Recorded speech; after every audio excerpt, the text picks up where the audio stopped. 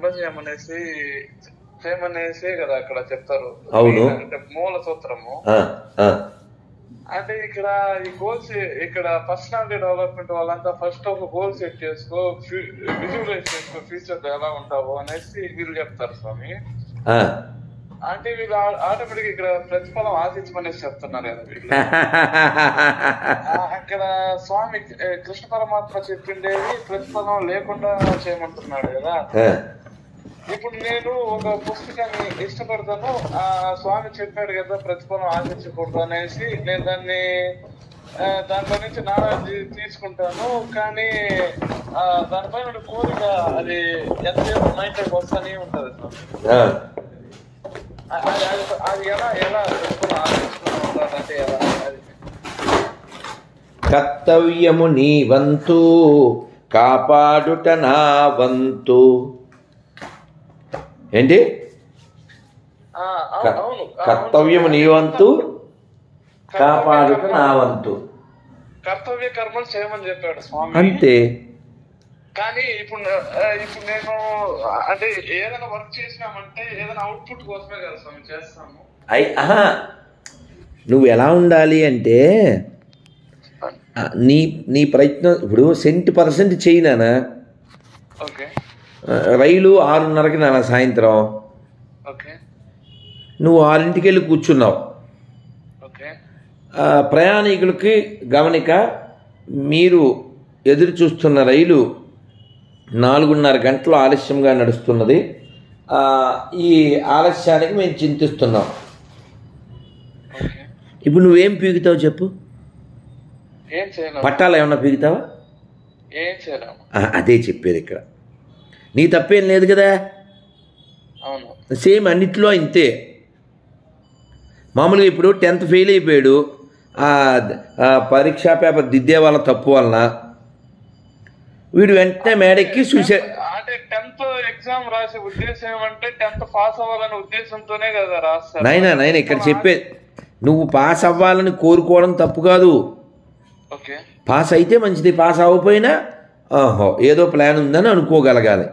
అంతేగాని మేడెక్కి water tank ఎక్కి దూకేయకూడదు. అంటే ఇప్పుడు నువ్వు దాని దానికే ఫిక్స్ అయిపోయావు. విన్ అవ్వాలని ఫిక్స్ అయిపోయావు. విన్ అవ్వలేదు. అప్పుడు మైండ్ లూజ్ అయిపోయింది. నేను ఇంకా దూకి చచ్చిపోతా. ఇంకెలాగా? ఓహో భగవంతుడి ప్లాన్ వేరే ఉందని నువ్వు మనసుతో ఆశావహ దృక్పథం కలిగి ఉండాలి. ఎలాంటి ఫలితం వచ్చినా దేవుడు నా నా దగ్గర అలాంటి ఫలితం వచ్చేదాన్ని పని చేపిస్తా అన్నాడు. అనే ఉద్దేశంతో చేయాలనుకున్నాను నువ్వు నేను డూయర్ని అంటావు పెద్ద తలనొప్పి. ఓకే. నువ్వు డూయర్ అయితే నువ్వు లాయర్ అవ్వచ్చు డూయర్ అవ్వలేవు. చెయ్యిని ఇలా పిడికిలి ముందుకు బిగించగలవు. వెనక్కి బిగిస్తావా లేదు స్వామి. ఒక్కోసారి మనకి కాలు పట్టేస్తుంది ఏ మోకాలు పట్టేస్తుంది నడుము పట్టేస్తుంది కళ్ళు తిరుగుతాయి. ఓకే. లేకపోతే షుగర్ వాళ్ళకి ఇంకోలా ఉంటుంది బీపీ వాళ్ళకి ఇంకోలా ఉంటుంది. ఇవన్నీ నువ్వే డూయర్ అయితే ఎన్ని ఆపేయచ్చుగా నీ చేతుల్లో అన్నీ లేవురా బాబా మాటకొస్తే ఏమీ లేదు. నీ కర్తవ్యం నువ్వు చెయ్యి. ఫలితం బాగా వచ్చినా సమ లోష్టాస్మ కాంచన అంటే ఏంటి? కాంచనం అంటే బంగారం లోష్మము అంటే మట్టి. మట్టిని బంగారాన్ని సమంగా చూసే సమదృష్టితో చూసేవాడు భానుప్రకాష్ బంగారు కొండ అయిపోయింది. నువ్వు చెప్పేసావు ఆన్సర్ ఈజ్ హియర్ వచ్చేసింది అంతే. అంటే నాకు క్లారిటీ లేదు ఎక్కడంటే ఇప్పుడు మోక్షం కోసం ట్రై చేసే వాళ్ళైనా కూడా మోక్షం రావాలనే ఉద్దేశంతో చేస్తారు. కా- కా- కాదు దేవుడు స్వామి. నువ్వు రైలు స్టేషన్కి ఎందుకు వెళ్ళావమ్మా? నేను నా గమ్యస్థానానికి నేను చేరాలనేసి వెళ్ళాను. మరి రైలు రాలేదు. ఓకే. మొన్న మేము అది అది డిస్టిని అది అది రైలు పంపించే వాళ్ళ మీద ఉంటది. అది అది మన చేతిలో ఉండదు. అదే మన చేతుల్లో చాలా లేవు. ఓకే. చాలా లేవు. ఓకే. అందువలన మనం గుర్తుపెట్టుకోవాలి అన్నీ మన చేతుల్లో లేవు. ఓకే అంటే నేను కర్త అనే భావాన్ని మైండ్లో నుంచి తీసేసేదానికి ఇప్పుడు నేను సాంగ్ పాడినా? చెప్పండి సార్. లవ్ యూరా లవ్ యూరా ఇదన్నమాట. దేవుడు ఇలా పాడతాడు ఇప్పుడు ఈ మూడ్ నీకుంటే. Okay okay. సార్ మనకు తలనొప్పి ఏంటి చెప్పు? ప్రతి ఓడు నేను నేను నేను అంట ప్రపంచంలో అతిపెద్ద భూత పదాలు ఏమిటంటే పేపర్ వేసి పెట్టినాను తర్వాత? పేపర్. ఉందా? మన ఏం పేరు? శ్రీభాష అప్పలాచార్యులు వారు చెప్పారు నమ్మాల వారు చెప్పారు ప్రపంచంలో అతిపెద్ద చెడ్డ పదాలు రెండే అంట. నేను నేను నాది. విన- వినపడుతుందా బాను నేను నాది. నేను నాది అన్నామంటే మొత్తం సోది. ఇంకా మనం పెట్టుకోవచ్చు చెవిలో దూది. అది ఆ భావన అనేది లేకపోతే ఇక్కడ బతకలేం కదా స్వామి. అంటే దేవుడా! నేను- అంటే నీకు ఇదిగో నువ్వు మళ్ళీ మా రెడ్డి వచ్చి మొదలు ఎట్లా ఉంది. కాదు నాన్న. ఇప్పుడు మా అమ్మ కావాలి నాకు ఇప్పుడు. వస్తుందా? ఎనిమిదేళ్ళు అయింది వెళ్ళిపోయి ఏడేళ్ళు అయిపోయింది. రాడు మా నాయన కావాలి? ఇరవై రెండేళ్ళు అయింది. వస్తాడా? తలిపి. రాడు రాడు. అంటే నీ చేతిలో ఉండే లేదు కదా నాన్న. ఓకే ఓకే స్వామి. అందుకని నువ్వు ప్రయత్నం చేయడం తప్పు కాదు. ఓకే. ప్రయత్నం చేసి ఇప్పుడు ప్రయత్నం ఎందుకు చేస్తాం? ఫలం కోసమేగా? ఫలం ఎలా వచ్చినా. నువ్వు అప్సెట్ అవ్వకో. ఇక నువ్వే నువ్వే ఇచ్చేసావు? ఆన్సర్ నా చేతిలో ఏముంది? యు ఆర్ నాట్ డూయర్ కర్త నేను కాదు. ఓకే ప్రాబ్లం ఏంటి? మన అన్ని సమస్యలకి నువ్వు ఎందుకు అప్సెట్ అవుతున్నావు? ఆ పిల్లోడు ఎందుకు సూసైడ్ చేసుకుంటున్నాడు? అది నేను సాధించలేకపోయినాను అనే అంటే మధ్యలో నువ్వు ఉన్నావు. అవును అవును. మధ్యలో నువ్వంటే కొవ్వు. ఓకే. మధ్యలో నువ్వంటే కొవ్వు. అదే భగవంతుడు అంటే లవ్వు. ఓకే. నేను పిల్లలకి చెప్తుంటాను. అంటే టెన్త్ నైన్త్ చదివే వాళ్ళు ఎవరన్నా ఉన్నారనుకో నేను వాడికి వాడికి అర్థం కావడం కోసం సెకండ్ ఇచ్చి కంగ్రాట్స్ నెక్స్ట్ ఏపీ ఎలక్షన్లో నువ్వు ఎమ్మెల్యేగా పోటీ చేస్తున్నావు అంట కదా. అన్నాను అనుకో ఆడు మొహం ఎలా పెడతాడు? వెరి మొహం పెడతాడు. నేనా? అన్నట్టు మొహం పెడతాడు కదా. అవునవును. మరి నిన్ను అదే నైన్త్ క్లాస్ వాడిని ఒరే అడ్డగాడిదా? అన్నప్పుడు ఎందుకు అట్ట అవుతున్నావు? నా- అంటే నేను వచ్చి అవమాన అవమానపడుతున్నాను అనే భావన నేను కాదండి. ఎమ్మెల్యే అన్నప్పుడేమో నీకు తెలుసు. ఇది కిడ్డింగు జస్ట్ జోకింగు స్వామీజీ రాకింగు. అని నీకు తెలిసిపోతుంది కదా? అవును సార్ అవును. నువ్వు నువ్వు ఎమ్మెల్యే కాదు నీకు తెలుసుగా? నువ్వు ఎమ్మెల్యే పోటీ చేసే ఏజ్ కూడా లేదు నీకు తెలుసుగా? అవును సార్. కాబట్టి వాళ్ళు జోక్ చేస్తున్నారని నీకు అర్థమైపోయింది. మరి నేను అడ్డగాడిది అన్నప్పుడు ఎందుకు తీసుకుంటున్నావు బికాజ్ నువ్వు అడ్డగాడిదివి నీకు అర్థమైందా పాయింట్? నువ్వు ఎందుకు తీసుకుంటున్నావు? ఇప్పుడు నిన్ను నేను క్వశ్చన్ చేశాను రాత్రి మందు కొట్టావు కదా అన్నాను. అంటే నువ్వు హట్ అయిపోతావు. ఏం స్వామి అలా మాట్లాడుతున్నారు?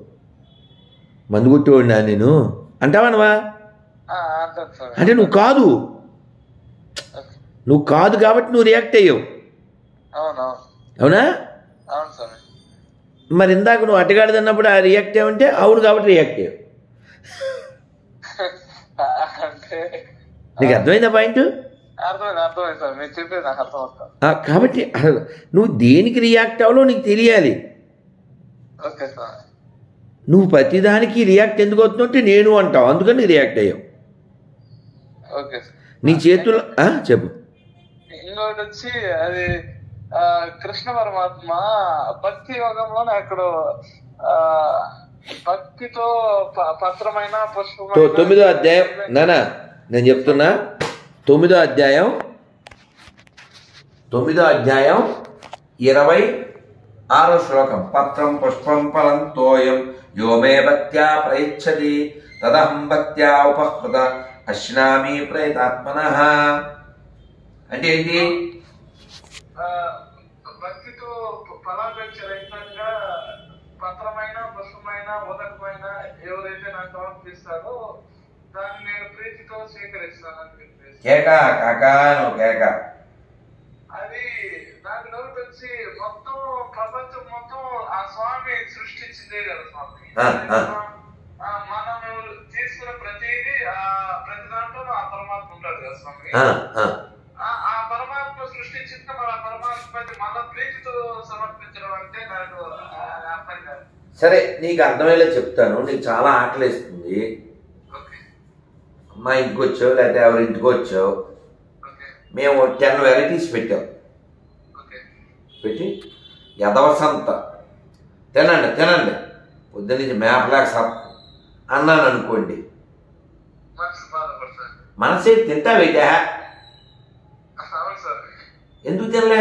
నిన్ను మేము పె- అన్నం పెట్టాంగా నువ్వు దేని కట్టేయవు తినచ్చు ఆకలి కూడా ఉంది. వెరైటీస్ కూడా మంచి వెరైటీస్. ఏమండి? ఏం లేకుండా అండి?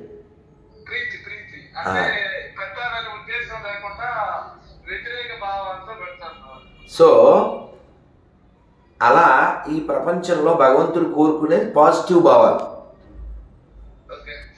ఆ పాజిటివ్ భావన ఎప్పుడు వస్తుంది తవ దాసో తవ దాసోహం తవ దాసోహం తవ దాసోహం దాశరదే మొరవిని వినుమ మరువ సమయమ తవ దాసోహం దాశరదే నీది నీది నీది నీది నీది అన్నావు అనుకో నీలో ఏం ఏమొస్తుంది త్యాగం వచ్చింది. నాది నాది నాది అన్నాను అనుకో భోగం వస్తుంది. తర్వాత రోగం వస్తుంది. త్యాగం వలన యోగం. భోగం వలన రోగం. ఏం కావాలి మనకి? యోగమా? రోగమా? మరి యోగం కావాలంటే ఇప్పుడు ఇదంతా అయిందే కదా. నువ్వు ఆయన సమర్పించేది ఏమిటి అంటే ఇక్కడ ఆయన కోరుకునేది పత్రం పుష్పం పరంతోయం యోమే భక్త్యా ప్రయచ్చతి అని మొదటి మొదటి లైన్లో నాలుగు పాదాల్లో రెండో పాదం చివర ఏం చెప్పారు? పత్రం పుష్పం పలంతోయం యోమే భక్త్యా అని మళ్ళీ ఇలా కిందకు వచ్చాక తదహం భక్త్యా ఉపహృత అశ్నామి పరితాత్మన. అంటే ఏమిటి? ఇక్కడ ఆయన ఆయన ఎంపసైజ్ అంటాం ఇంగ్లీష్లో. నువ్వేం చదివావు? నీకు చెప్పేది ఏంటి నేను? ఎంపసైజ్ అంటే నొక్కి చెప్పడం కదా అవును సార్ అవును సార్ ఏం నొక్కాడు ఇక్కడ? పువ్వులు రెండుసార్లు చెప్పలే నీళ్ళు రెండుసార్లు చెప్పలే పండ్లు రెండుసార్లు చెప్పలే పత్రాలు రెండుసార్లు చెప్పలే. రెండుసార్లు ఎంపసైజ్ చేసిన పాయింట్ ఏంటి? భక్త్యా. అంటే ప్రీతి. అంటే భగవంతుడికి కావాల్సింది పువ్వులు కాదు పండ్లు కాదు నీళ్ళు కాదు లేకపోతే పత్రాలు కాదు. ఏం కావాలి? అర్థమైంది? అర్థమైంది ఓకే సార్. ఇంకోటి స్వామి వివేకానంద భగవద్గీత గురించి చెప్తా. ఆయన తీవ్రంగా కర్మాచరణ చేస్తా మనసు ప్రశాంతంగా ఉంచుకోవడమే భగవద్గీత యొక్క ముఖ్య సారాంశం అని చెప్పాడు స్వామి. నాయన ఇంతసేపు నేను చెప్పింది ఏంటి నీ మనసు ప్రశాంతం ఎలా వస్తుంది? నువ్వు డ్యూ డ్యూయర్ అంటే ఇంక అయిపోయింది సినిమా. నువ్వు అంటే కర్మయోగము జ్ఞాన యోగము భక్తి యోగం అన్ని ఆ విధంగా అలాంటి కెపాసిటీని తీసుకొని వస్తాయి స్వామి. నాన్న ఒకటో తరగతి రెండో తరగతి మూడో తరగతి అలా పైకి వెళ్ళాలి కదా నాన్న. నువ్వు అక్కడ ఆగమని చెప్పలేదు కృష్ణుడు. మొత్తం భౌతికత అంతా చెప్పి పద్దెనిమిది అధ్యాయులు ఏం చెప్పాడు? సర్వధర్మాన్ పరిత్యజ్య మామేకం శరణం వ్రజ అహం త్వాం సర్వ పాపేభ్యో మోక్ష ఇష్యామి మా శుచ. అంటే ఏంటి ఆ, సర్వధర్మాలు పరిత్యజించి నన్ను శరణ వేడిన వాళ్ళని నేను ఎల్లవెల్లా కాపాడుతున్నాను మా శుచ భయపడకో. నీకు మోక్షం కూడా ఇస్తాను. ఐ విల్ టేక్ కేర్ అన్నాడా? కాబట్టి మనం చేయవలసిన last and least and best and must thing ఏంటంటే శరణాగతి. సరెండర్నెస్. Okay sir. ఒకటే సదైవ భజామ్యహం. మనవత్మాన్ వర్తంతే మనుష్య పాస్త సర్వశ అనే శ్లోకం ఉంది కదా స్వామి. హలో. వింటున్నాను ఇది లాస్ట్ నాకు నాకు నీరసం వచ్చేస్తుంది ఇంకా స్వామికి ఆరతి ఇవ్వాలి మూడు పుస్తకాలు చదువుకోవాలి. అంటే ఏ విధంగా పూజ చేసినా నేను ఆయా విధంగా ఇస్తాను అనేసి ఫలితాన్ని ఇస్తాను అనేసి చెప్తున్నాడు కదా. ఇది మనం అది ఏ దేవుని పూజ చేసినా ఆయన ఫలితం ఇస్తాడు అనేసి అది ఓన్లీ మన హిందూ దేవుని పూజ చేస్తేనే ఇస్తాడు అనేసి అది నాన్న భగవంతుడికి అయితే కావాల్సింది భావము. నీ భావాన్ని బట్టే దాని ప్రభావము. ఇప్పుడు నేను రాత్రి ఇక్కడికి వచ్చాను నాన్న. హైదరాబాదు. రమేష్ అయ్యంగార్ అని మొన్న మేము రైల్లో యాత్రకు వెళ్ళాము. నువ్వు చూసి ఉంటావు ఆ వీడియోలో ఉంటారు. ఇది రైలు కాదు ఆశ్రమం అని ఒక వీడియో ఉంటుంది. అలా చాలా వారితో మేము బృందావనం కురుక్షేత్రం హరిద్వారు ద్వారక ఇవన్నీ వెళ్ళాం. వారి ఇంటికి వచ్చామన్నమాట. వస్తే మేము వచ్చాక ఫోన్ చేస్తే ఆయన బయటికి రావచ్చు కదా. కానీ మేము వస్తున్నాం రోడ్డు మీద ఎదురు చూస్తున్నారు ఆయన. ఇల్లంతా శుభ్రం చేయించి అగరబత్తులు వెలిగించి మళ్ళీ మాకు దేవుడికి అగరబత్తులు రెడీ చేసి నీళ్ళు రెడీ చేయించి పెట్టారు. ఏముంది ఆయనకి మా పట్ల? నేను కూర్చోవడానికి ఒక ఆసనం అంటే బీభత్సమైన ఆసనం చేయించారు పెద్ద ఆసనం. ఏముంది? ఇప్పుడు ఇప్పుడు ఈ తయారు చేయించిన ఆసనం కాస్ట్ చూస్తావా? ఆయన లోపల ఉన్న ఫీల్ చూస్తావా ఆయన లోపల ఉన్న ఫీలింగ్ ఆ, ఆ ఫీల్కి వాల్యూ దీనికి కాదు. లోపల నా పట్ల ఉన్న ప్రేమకి ఆ, ఒక ఫామ్ చేస్తే ఇదిగో ఈ ఫోమ్ బయట వచ్చింది. ఈ- ఇది దేంతో చేయించారు అది అది కానీ ఒక చక్కని ఆసనం చేయించారు. బీభత్సంగా ఉందన్నమాట. అలా భగవంతుడు ఏం కోరుకుంటున్నాడు? నీ లోపల ఫీలింగ్ ఇప్పుడు రుక్మిణీదేవి ఏమేసిందండి కాటాలో? మరి సత్యభామ ఏమేసిందండి ఆమె బంగారు ఆభరణాలు రత్నాలు ఏ- ఏ- ఆమె దగ్గర ఉండే సంపద మొత్తం తీసుకొచ్చి ఎట్లు లొంగాడండి? బతికేలు ఉన్నాయి నెంబర్ వన్. వెంకటేశ్వర స్వామిని భోజనానికి పిలిచారు. ఎవరైనా? తొడమాన్ చక్రవర్తి. అదే టైంలో కుమ్మరాయని పిలిచాడు. ఎవరింటికి వెళ్ళాడు ఈయన?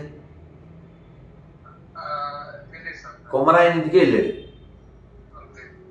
ఈ రాజుగారు హట్ అయ్యారు. నేను మీకు బంధువుని చమాన్ గారిని మా ఇంటికి రాలేదు వాళ్ళ ఇంటికి వెళ్ళారు. నేను బంగారు పాత్రలు అన్ని రెడీ చేశాను అన్న బాగుంది చెప్పాడు. నేను అనే ఫీలింగ్ ఒకటి ఉంది నీకు. బంగారు పాత్రలు చాలా గొప్పవని ఫీలింగ్ ఉంది. బంగారం అంటే సిరి. సిరి అంటే లక్ష్మీదేవి.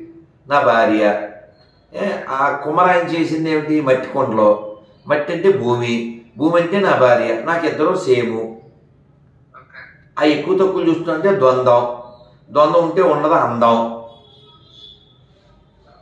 దానివల్ల వస్తుంది బంధం. తర్వాత వచ్చేది దుర్గంధం. అందుకే మీ ఇంటికి రాలేదు నేను అన్నారు. అందుకే ఈ రోజు కూడా వెంకటేశ్వర స్వామికి కొండతో రోజు వండి దాన్ని ఇలా మొక్క చేసి పెడతారు నైవేద్యం. అన్నమయ్య అంటాడు తోమని పల్లాల వాడెదురుత దూరుడే వాడు అలమేల్మంగ వాడు అలమేల్మంగ వెంకటాద్రినాథుడే వేడు కొందామా వేడు కొందామా వెంకటగిరి వెంకటేశ్వరుడు వేడు కొందామా అదైందా కాబట్టి భగవంతుడు కోరుకునేది మన భావము. ఇందాక నువ్వు అడిగావు ఫలము భగవంతుడి యొక్క అదే ఏదమాం ప్రబద్ధంతే దీన్ని అన్నమయ్య చెప్పాడు. ఏమని? ఎంత మాత్రమున ఎవరు తలచిన అంత మాత్రమే నీవు. అంతరాంతరములెంచి చూడ పిండంతే నిప్పటి అన్నట్లు. ఎంత మాత్రమున ఎవ్వరు తలచిన అంత మాత్రమే నీవు. కొలతురు మేము వైష్ణవులు కూరిమితో విష్ణుడని.